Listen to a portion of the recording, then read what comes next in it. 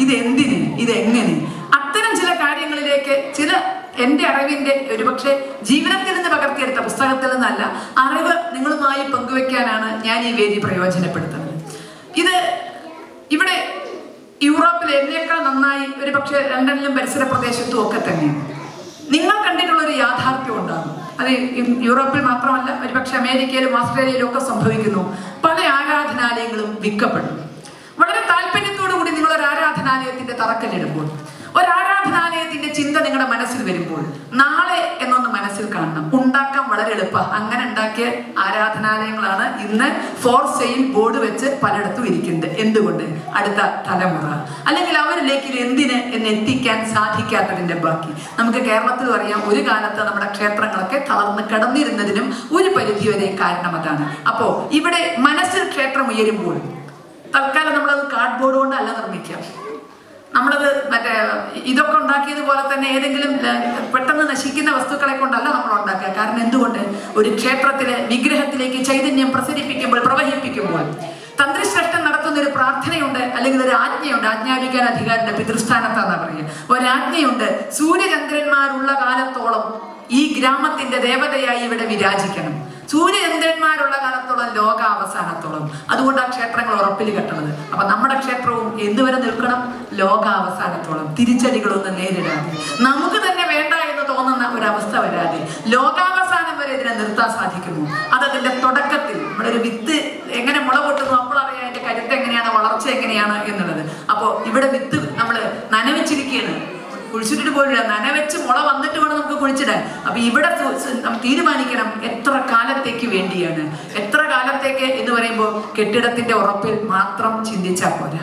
ഇത് നിലനിർത്തുന്നത് സമാജമാണ്. ഈജിപ്തിൽ ഇന്നും ക്ഷേത്രങ്ങളുണ്ട്. നന്നായി അറിയാവുന്നവരാണ് ഇരിക്കുന്നവര്. താള തകരാത്ത ക്ഷേത്രങ്ങൾ ഇന്നും ഈജിപ്തിലുണ്ട്. സൂര്യക്ഷേത്രങ്ങളൊക്കെ വളരെ ശാസ്ത്രീയമായി നിർമ്മിക്കപ്പെട്ട സൂര്യക്ഷേത്രങ്ങളുണ്ട്.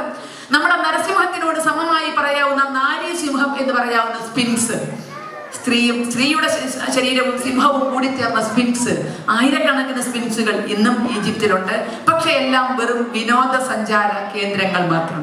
അക്കാഡമിക് താല്പര്യത്തോടു കൂടി ചെല്ലുന്നവന് അവന് എന്തൊക്കെയോ കിട്ടാനുള്ള ഒരു കേന്ദ്രങ്ങൾ മാത്രം. പക്ഷെ ആരാധനയ്ക്കുള്ള കേന്ദ്രങ്ങളല്ല. ഇന്ന് ഗുരുവായൂരപ്പ ക്ഷേത്രം മനസ്സിൽ പ്രതിഷ്ഠിച്ച ലണ്ടനിലെ മലയാളികൾ ചിന്തിക്കുക ഇത് നാളെ വിനോദസഞ്ചാര കേന്ദ്രമായി മാറണമോ? അതോ അക്കാഡമിക് താല്പര്യത്തോടു കൂടി വരുന്നവന് മുന്നിൽ മാത്രം വാതായനം തുറന്നു കൊടുക്കുന്ന ഒന്നായി നിലനിൽക്കണമോ? അങ്ങനെ നിലനിൽക്കാം. അങ്ങനെ നിലനിന്നാൽ മതിയോ സൂര്യചന്ദ്രന്മാരുള്ള കാലത്തോളം? അതോ ഇതൊരു ഹിന്ദു ധർമ്മ കേന്ദ്രമായിട്ട്? ഹിന്ദു ധർമ്മം പ്രചരിപ്പിക്കുന്ന വളർത്തുന്ന ഒരു കേന്ദ്രമായി ഇത് നിലനിർത്തണം. ഇതാണ് നമ്മുടെ മനസ്സിലുണ്ടാകേണ്ട ആദ്യത്തെ ചോദ്യം. ഈ ചോദ്യത്തിന് ഉത്തരം കണ്ടാൽ നമുക്ക് അ- നമ്മൾ ആസൂത്രണം നമ്മുടെ മനസ്സിലുള്ളതിനനുസരിച്ച് അവിടുന്ന് അങ്ങോട്ടുള്ള ഓരോ പരിപാടിയും വരുള്ളൂ. ഒരു ഹിഡൻ അജണ്ട എന്നൊക്കെ രാഷ്ട്രീയക്കാരന്റെ ഒരു വാക്കുണ്ട്. ആ വാക്ക് അത്ര അബദ്ധമൊന്നുമല്ല. നമ്മൾ ഓരോന്ന് ചെയ്യുമ്പോൾ ഉള്ളിലൊരു ഹിഡൻ അജണ്ട ഉണ്ടെങ്കിൽ അതിനനുസരിച്ച് നമുക്ക് പെരുമാറാൻ സാധിക്കുകയുള്ളൂ. അപ്പൊ നമ്മുടെ ഹിഡൻ അജണ്ടകൾ ഇത് ലോകമുണ്ടിടത്തോളം കാലം നിലനിൽക്കണം. ആരാധനാലയമായി തന്നെ ഹൈന്ദവ ആരാധനാലയമായി തന്നെ ഇത് നിലനിൽക്കണം എന്ന ചിന്ത. അപ്പൊ തീർച്ചയായും ചോദ്യം ഉണ്ടാകും ഇംഗ്ലണ്ട് പോലൊരു സ്ഥലത്ത്. കാര്യം ഇത് മിഡീവൽ യൂറോപ്പ് അല്ലിത് നമുക്കറിയാം. ഇവിടെ എല്ലാ മതങ്ങൾക്കും തുല്യ പരിഗണന നൽകുന്ന എല്ലാ നാഗരികതകൾക്കും തുല്യ പ്രാധാന്യം നൽകുന്ന ഒരു മണ്ണാണ്. ഇന്നലെകൾ നമുക്ക് എന്തോ അതിനെ ഇന്ന് നമുക്ക് അന്വേഷിക്കേണ്ട. ഇന്ന് എല്ലാവർക്കും തുല്യ പ്രാധാന്യവും തുല്യ അംഗീകാരവും തുല്യ ബഹുമാനവും കൊടുക്കുന്ന ഈ മണ്ണിന് നമ്മൾ വന്നിട്ട് ഈ വിഭാഗീയത വളർത്തിയാൽ അത് മോശമല്ലേ? ഹിന്ദുവിന്റെ അമ്പലമാകണം ഹിന്ദുത്വം പ്രചരിപ്പിക്കാനാകണം ഹിന്ദുത്വം വളർത്താനാകണം എന്നൊക്കെ പറയുമ്പോൾ അത് തീർച്ചയായും പ്രഖ്യാപി ഈ നാടിന്റെ ഒരു ഇന്നത്തെ ഒരു രീതിക്ക് വിരുദ്ധമാകില്ല തീർച്ചയായും നമ്മൾ ഒരിക്കലും ഇവിടെ വരുന്നത് വിഭാഗീയമായ ചിന്താഗതി കൊണ്ടല്ല ഇവിടെ എന്നല്ല എവിടെയും. ഭാവിയിൽ ഹിന്ദുവിന് വേണ്ടി യു കെയുടെ ഒരു കഷ്ണം മുറിച്ചു വാങ്ങാൻ വേണ്ടിയല്ല നമ്മൾ ഇന്നിവിടെ ഹിന്ദുവായി അല്ലെങ്കിൽ ഹിന്ദുവിന്റെ സ്ഥാപനത്തിന് തറക്കല്ലിടുന്നത് കാരണം അത്തരത്തിൽ മുറിച്ചു വാങ്ങിയാൽ അതിന്റെ വേദന എന്താണെന്ന് ഏറ്റവും നന്നായി മനസ്സിലാക്കിയവർ ലോകത്ത് ഭാരതീയരാണ്. ഭാരതീയരെ പോലെ മറ്റാരും മനസ്സിലാക്കിയിട്ടില്ല. ഏതെങ്കിലും ഒരു മതവിഭാഗം വളരുകയും അതിന്റെ പേരിൽ ഞങ്ങൾക്ക് രാജ്യത്തിന്റെ ഒരു ഭാഗം വേണം എന്ന് പറഞ്ഞാൽ ഭാരതാംബയുടെ കരതരണങ്ങൾ അറുത്തു മാറ്റിയത് അതിന്റെ ആ രക്തപ്പുഴയിൽ ആയിരങ്ങളുടെ ശവം ഒഴുകി നടന്നത് നമ്മൾ മറന്നിട്ടില്ല.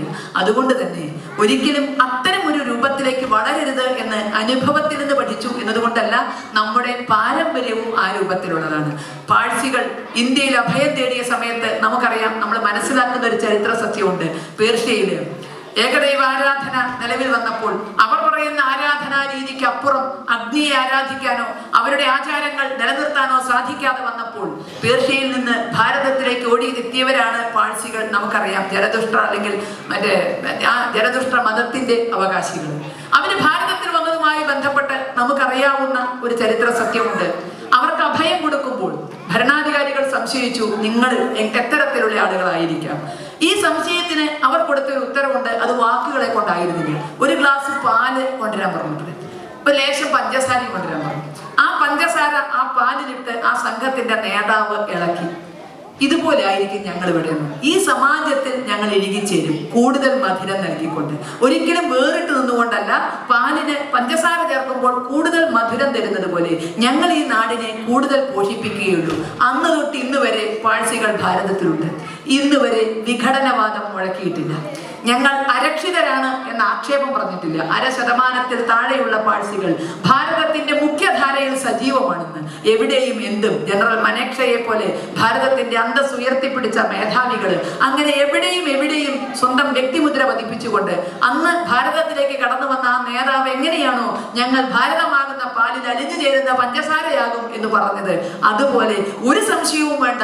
ഈ യു കെയിൽ എന്നല്ല ലോകത്തെവിടെയും ചെല്ലുന്ന നമ്മൾ ഓരോരുത്തരും ഇവിടുത്തെ പാലിനെ ഇഴുകിച്ചേർന്ന് പഞ്ചസാര കൊണ്ട് മധുരം കൊടുക്കുന്നവരായിരിക്കും ആയിരിക്കണം എന്ന് നമുക്ക് നിർബന്ധമുണ്ട്. അതുകൊണ്ട് തന്നെ വിഭാഗീയതകൾക്ക് വേണ്ടിയല്ല നമ്മൾ ഇത്തരം കാരണം അങ്ങനെ ഒരു രീതി ഭാരതത്തിന് ഇല്ല എന്നുള്ളത് കൊണ്ട് ഹിന്ദുത്വത്തിന് തീരെ ഇല്ല എന്നതുകൊണ്ട് ഈ നാടിനെ നമ്മൾ എങ്ങനെയൊക്കെ സഹായിക്കാൻ പറ്റുമോ?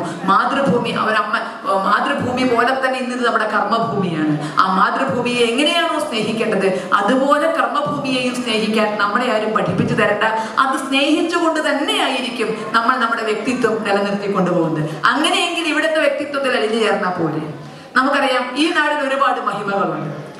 യൂറോപ്പിൽ നിന്ന് പഠിക്കേണ്ട പലതുമുണ്ട്. ഒരുപക്ഷെ അവരുടെ ജനാധിപത്യ ബോധം പല മര്യാദകൾ ഇങ്ങനെ പലതും ഇന്ന് ഞാൻ വീണ്ടും പറയുന്നു മിഡീവൽ യൂറോപ്പിനെ അല്ല പിന്നെ മറ്റേ റിഫോർമേഷൻ പീരീഡിലുള്ള യൂറോപ്പിനെ അല്ല പറയുന്നത് ഇന്നത്തെ യൂറോപ്പിൽ നിന്ന് നമുക്ക് പഠിക്കേണ്ട പല പാഠങ്ങളും ഉണ്ട് എന്നത് സത്യമാണ്. പക്ഷേ യൂറോപ്പിന് ഇല്ലാത്ത ചിലത് നമ്മുടെ കയ്യിലുണ്ട്. അങ്ങോട്ടും ഇങ്ങോട്ടും കൊടുക്കേണ്ട ഒരു കാര്യമുണ്ട്. കാരണം ഭാരതം ഭാരതമായി സഹസ്രാബ്ദങ്ങൾ നിലനിന്നത് ഇപ്പോഴും നിലനിന്ന് പോരുന്നത് ഭാരതത്തിലെ പട്ടാളത്തിന്റെ മഹിമ കൊണ്ടല്ല. ഭരണാധികാരികളുടെ ബുദ്ധിവൈഭവം കൊണ്ടല്ല. മറിച്ച് അവിടെയുള്ള കുടുംബങ്ങളുടെ ആ കുടുംബ ബന്ധങ്ങളുടെ ദൃഢത കൊണ്ടാണ്. കുടുംബം എന്ന ആ ഏറ്റവും വലിയ മൂല്യങ്ങൾ ഒരു തലമുറയിൽ നിന്ന് അടുത്ത തലമുറയിലേക്ക് മൂല്യങ്ങൾ കൈമാറുന്ന ആ കുടുംബം എന്ന അടിസ്ഥാന യൂണിറ്റ് അതിന്റെ ശക്തിയിലാണ് പതിനായിരക്കണക്കിന് വർഷം ഭാരതം നിലനിന്നത്. നമുക്ക് ലോകത്തിന് കൊടുക്കാനുള്ള ഏറ്റവും വലിയ സംഭാവനയും തീർച്ചയായും അതാണ്. ഒരുപക്ഷെ നമുക്കറിയാം ശാസ്ത്രത്തിന്റെ ഏടുകളിലേക്ക് നോക്കിയാൽ ന്യൂട്ടന്റെ തലയിൽ ആപ്പിൾ വീഴുന്നതിന് മുമ്പ് തന്നെ ഗുരുത്വാകർഷണം കണ്ടുപിടിച്ച ഭാരതീയർ ഉണ്ടായിരിക്കാം പൈത്തഗോറസിന് മുമ്പ് തന്നെ നമ്മുടെ ആശാരികൾ കൃത്യമായി കഴുക്കോൽ അതേ തത്വമൊക്കെ വെച്ചുകൊണ്ട് തന്നെ അല്ലെ പാദം സ്ക്വയർ പ്ലസ് ലംബം സ്ക്വയർ എന്നൊക്കെ പറഞ്ഞ. അങ്ങനെ തന്നെയാണ് കഴി കെട്ടിടങ്ങളുടെ കഴുക്കോലുകൾ ഉണ്ടാക്കുന്നത്. അങ്ങനെ ഉണ്ടാക്കിയിരുന്ന ആശാരിമാർ ഒരു പക്ഷേ പൈത്തഗോറസിന് മുമ്പ് നമ്മുടെ ഉണ്ടായിരിക്കാം ഇതൊക്കെ സത്യമാണ്. പക്ഷേ അതുപോലെ തന്നെ പലരും പറയുന്ന പോലെ വിമാനശാസ്ത്രം നമ്മുടെ ഇതെല്ലാം ഉണ്ട്. പക്ഷെ ഇന്ന് ലോകത്തിന് ഒരു പക്ഷേ നമ്മുടെ ശാസ്ത്രം ആവശ്യമാണ് എന്ന് വരില്ല. അതിനപ്പുറം ശാസ്ത്രം നമ്മളായാലും തുടക്കം കുറിച്ച് മുന്നോട്ട് പോയി അതിനെ അതിജീവിച്ചുകൊണ്ട് മുന്നോട്ട് പോയി. നമ്മുടെ ബുദ്ധി എല്ലാ രംഗങ്ങളിലും കാണുന്നു. പക്ഷെ ഇതില്ലെങ്കിലും ലോകം മുന്നോട്ട് പോകും. നമ്മുടെ വ്യാവസായികമായ മികവില്ലെങ്കിലും ലോകം മുന്നോട്ട് പോകും. ഇതിലൊക്കെ നമ്മളുണ്ടെങ്കിലും. പക്ഷെ നമുക്ക് മാത്രം കൊടുക്കാൻ കഴിയുന്നത് നമ്മളിൽ നിന്ന് മാത്രം ആഗ്രഹിക്കുന്നത് അത് കുടുംബ സംവിധാനങ്ങളാണ്. അതിന്റെ അകത്തുള്ള മൂല്യങ്ങളാണ്. അതാണ് നമ്മളെ ഇതുവരെ നിലനിർത്തി കൊണ്ടുപോകുന്നത്. അപ്പോൾ അത്തരത്തിൽ ആ കുടുംബ ബന്ധങ്ങളുടെ ഊഷ്മളതയും ആ ഒരു സാംസ്കാരികമായ അടിത്തറയും നിലനിർത്തിക്കൊണ്ടാണ് ഇവിടുത്തെ ഹിന്ദുക്കൾക്ക് ഞങ്ങൾ ഹിന്ദുക്കളാണ് എന്ന വ്യക്തിത്വം എന്ന സ്വത്വം വളർത്തിയെടുക്കാനുള്ളത് അത് മറ്റുള്ളവരിലേക്ക് സംക്രമിപ്പിക്കാനുള്ളത്. ഇത് ആർക്കും എതിരെയല്ല. എങ്ങനെയൊക്കെയോ വിധിവശയാൽ ഒരു ക്ഷേത്രം എന്നതിനപ്പുറത്തേക്ക് കൂടി ഇത് നീണ്ടു ഹിന്ദു ഐക്യം എന്നതിലേക്ക്.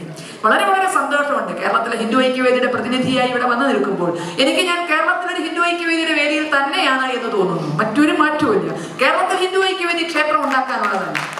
ക്ഷേത്രം ഉണ്ടാക്കുക എന്ന ലക്ഷ്യം കേരളത്തിലെ ഹിന്ദു ഐക്യവേദിക്കില്ല കാരണം അതിനവിടെ മറ്റേ കേരളത്തിലെ എല്ലാ ജനങ്ങളും അതിന്റെ പിന്നാലെയാണ്. അതുകൊണ്ട് ആ ലക്ഷ്യം ഹിന്ദു ഐക്യവേദിക്കില്ല പക്ഷേ കേരളത്തിലെ ചെറുതും വലുതുമായ സാമുദായിക സംഘടനകളെ ഒരു തരത്തിൽ ഇണക്കി കുറക്കുക ഹിന്ദു ഐക്യവേദിയുടെ ലക്ഷ്യമാണ്.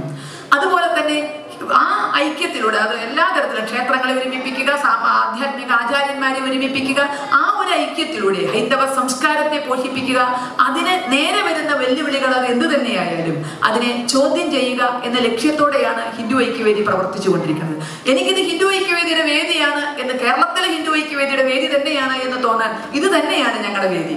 ഹൈന്ദവ സമൂഹത്തെ ഹിന്ദുക്കളാക്കി മാറ്റാൻ സഹായിച്ച നിലനിർത്തിയ നമ്മുടെ ആചാര്യ ശ്രേഷ്ഠന്മാരുടെ Thank you,